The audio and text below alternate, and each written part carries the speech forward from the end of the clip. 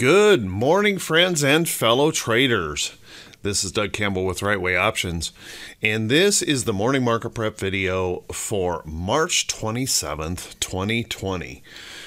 And what a month we have had of incredible volatility, and it continued yesterday.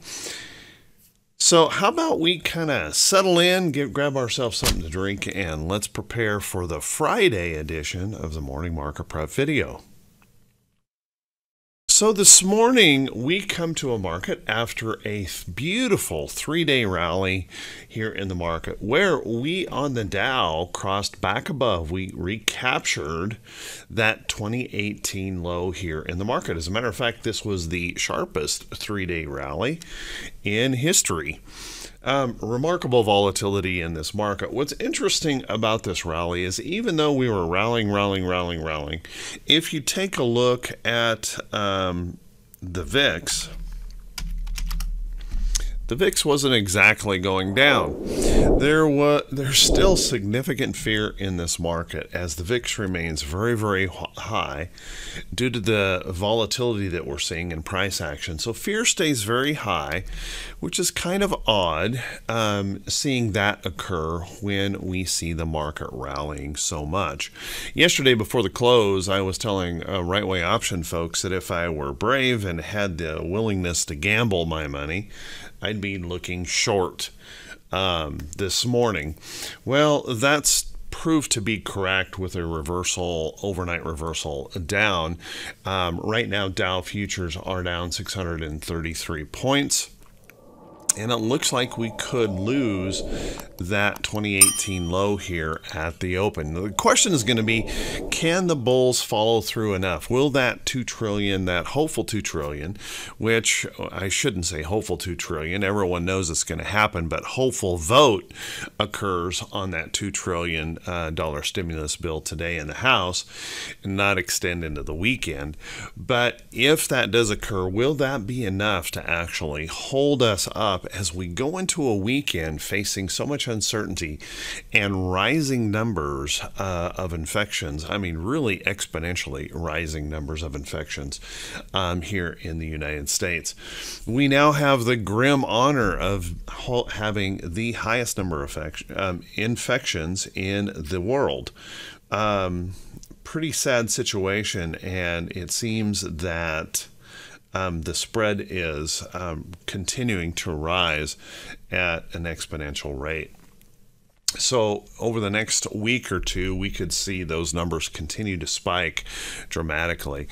So, will that be enough to offset the worrisomeness that investors will have about the market? I don't know. So, let's keep a close eye on this. I I made the decision on Wednesday when I closed out some really nice profits to uh, just stand aside, and that's really what I'm doing. I made no trades yesterday, and it, it, unless I do some kind of really quick intraday trading, probably not going to hold. Well, not probably. I'm not going to hold anything into the weekend. Trying to hold into this weekend um, is just way too much gambling for me and too much speculation, considering all of the all of the pressure that investors are going to face.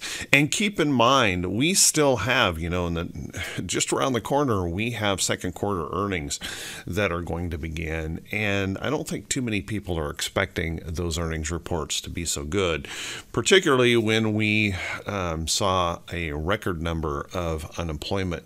Uh, I, I mean, just blew past record numbers of unemployment yesterday. Um, at the at the low of 2008, we kind of topped out on unemployment around 700 i want to say it's around 780000 something like that. And um, you know we hit 3.2 million yesterday. Um, remarkable. The the ramifications of that no one really knows. And we're going to have to um, deal with that as we move forward over the next few weeks and the country remains locked down Let's take a look at the SPY here real quickly. SPY rallying back up and recapturing a, a, pretty important level of support yesterday, breaking back above that 255. But unfortunately, this morning, the futures are pushing that back down. We could lose that here this morning. It'll be interesting to see if the bulls will be able to step right back up, pushing that back higher. But certainly, um, not showing us very good signs here overall. And by the way, if we take a look at some moving averages in here, notice our 50-day moving average is very, very close to crossing down through its 200-day. Um, serious technical damage has been created in these charts, and the volatility remains very, very high and extremely dangerous to trade. So, so be very careful out there. Let's take a look at the Nasdaq. One of the good things about the Nasdaq yesterday is not only did it recover some support area in the chart that's pretty important, but we also once again recovered that 500-day moving average the gap down this morning is not going to take that away, at least initially. Um, we are gapping down, but holding on to that 50 day moving average so far. We lost that price support, but we're holding that, uh, or excuse me, 500 day moving average. I kept saying 50 day. That 500 day moving average, we're holding on to that at least this morning. That'll be a key, import, uh, key level if we start pushing down toward the end of the day. If we can hold on to that, that will be a good sign, I think, for the NASDAQ, and we'll want to watch that closely. Let's take a look at IWM. IWM, nice little rally yesterday, rallying back up into some resistance areas. This still has an awful lot of work to do and still has a significant amount to recover just to make it to the 2018 lows. So a lot of work for IWM yet to do, and you can see it's gapping down significantly this morning, taking back the majority um, and almost all of yesterday's rally. So keep that in mind. Pretty pretty rough market this morning um, in the reversal. We'll see how that actually plays out once we reach into that open here today. Um, so with that, let's take a look at what's going on in the VIX. Now we took that quick look in in uh, the VIX and saw that we really didn't sell off. And normally, you know, you get um, several thousand points in a move and a rally, and we could normally expect the VIX to drop dramatically. That didn't happen. So our option prices remained extremely high with very, very wide bid ask spreads, even with this big rally. And now this morning we face a 600 point gap down, which is likely going to see the VIX push back higher. So let's keep that in mind as we head into the weekend. Fear still really remains very, very high in this market, and uh, which means that very, very quick reversals are still um, obviously uh, capable of occurring and boy, who knows what could happen by Monday morning. So keep a close eye on that as we uh, bounce around here in that fear index of the VIX. Let's take a look at T21 22. T21 22, this thing hasn't been very helpful here lately because it's just been dragging along the floor here. But three days of extended rally, we've moved up nicely here in, in that index. Now, typically I would tell you that we shouldn't see any kind of reversal until we reach up here about halfway. But we've been so oversold. Um, certainly this morning's reversal is not looking good. So I would expect this to be pushing back down uh, this morning. It's going to be important, to, hopefully, if we hold a higher low in here um, in the VIX, and maybe we can start getting back to a little bit of normal. But obviously, we're still in that bullish reversal zone, that area where we'd like to see the, those bulls take over. So it's possible even with the gap down this morning, you know, thinking about the stimulus bill maybe passing today, we could find bulls start to rally back um, if we get news that the House has passed that bill. So, kind of keep that in mind. We could still toss around here quite a bit on the day. Let's take a look at um, our economic calendar for today. And our economic calendar does have a few things that we're going to want to pay attention to and could move us around a bit. Um, as you can see here, come on, there we go. As you can see here on our economic, whoops, wrong, wrong window. Here we go. That's the window I want to show you. Um, our economic uh, calendar, we have personal incomes and outlays here this morning, as you can see, 8.30 this morning. And then we're going to have consumer sentiment.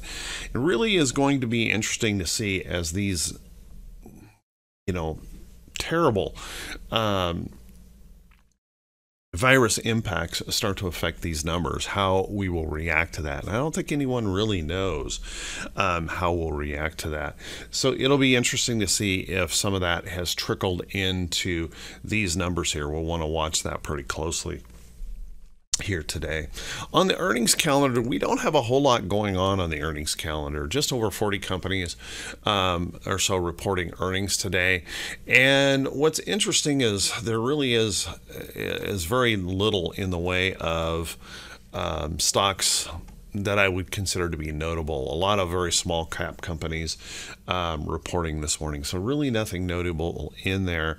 We're going to be more focused on this gap down this morning and what happens in in Congress today when the House, if the House actually makes it to passing uh, that bill, if there's a little bit of, um, you know, cantankerous House members trying to hold things up and grab some spotlight, um, it could certainly be delayed into the weekend. So we'll we'll just have to watch that carefully and see if we do get that uh, to pass today and that moves on to uh, the president. We could get a little levity out of out of the market, knowing that it's finally on the way.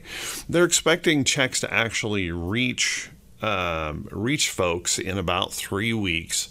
So um, you know, right now an hour in the market is is a long time uh, in what can happen. An hour we can flip around several hundred points. Um, uh, three weeks, a lifetime can go by in the market. So it's hard to know how quickly we will start to see the effects of that stimulus bill. But um, one thing for sure, um, we could get a little bit of positiveness just on the vote uh, today. So if that does occur, let's watch that carefully.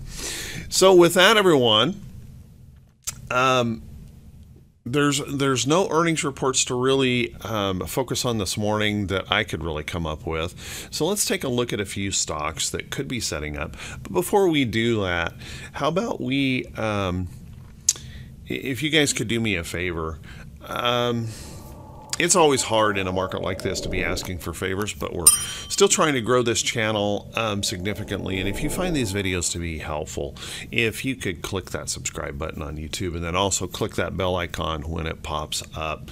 You know, you guys give me so many, uh, you know, nice, warm, and fuzzies um, in the comments, and I so truly appreciate that. So if you find that these, um, videos are helpful to you on how you may how you approach the day those kind of things if you would also click that thumbs up button and leave a brief comment. Um, honestly i'm so humbled by some of the comments. Um, you guys are great. I re- really truly appreciate it. And it makes it worthwhile getting up early every day to put these videos out. So thank you so much for your support of the channel so, a few things that are out there in the market are starting to look pretty good, and I want to point out some of those some of those patterns and things that I look for in charts when I start looking for that recovery. So, let's take a look, and I'm going to go to a little bit of a shorter term chart. I'm going to go to like Microsoft. Now, I have kind of a thing for Microsoft in the sense that they have a massive cash hoard. Um, I think everyone is pretty certain that Microsoft is going to survive um, the coronavirus and probably come out of this uh, doing pretty well.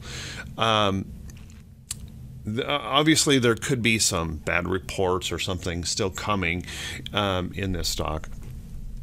But a couple of things that I like to see in a chart. First, I'm gonna I'm gonna jump here to let's go to an hourly actually.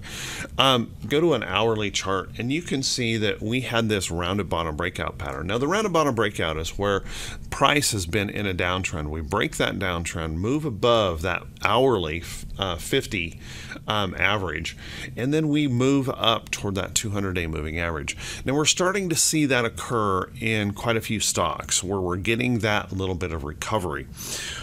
What's unfortunate is the volatility of this market. It hasn't been a smooth ascent. It hasn't been a, a real tradable ascent um, much at all because of the extreme whip um, in the price action here in, in these charts. But what we want to see now now that we have rallied, and you know, this morning we're looking at a gap down open in the market, what we need to see is in this pullback that we hold a higher low, that we find support in here, find some buyers that pick this up.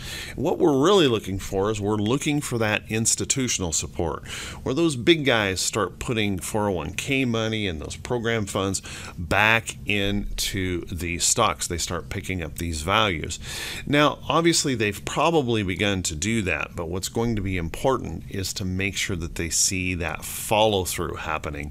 And if we get that follow through, then we can start seeing signs of recovery here that retail traders can really take advantage of. And as we watch this recovery um, continue, remember there is that high possibility when we go, I'm going to go back here to the Dow uh, for a second. There is that high possibility, and we've all seen this in chart patterns before where even though we make this rally, we want to be cautious of that um, possibility that we won't have a V bottom here, which I don't expect a full on V bottom. What I would more expect is maybe the possibility of a double bottom. So we could see that um, um, selling wave going back in. Now, it doesn't have to be a full double bottom. We could make that little higher low in here, um, creating that W type pattern. But that's where we're going to probably start seeing some recovery. Also, remember, there is certainly the possibility of what we saw in uh, 2008 is we had an inverted head and shoulders bottom where we rallied up significantly, fell, to a new low, then rallied back, held that higher low, and created that inverted head and shoulders pattern in the market.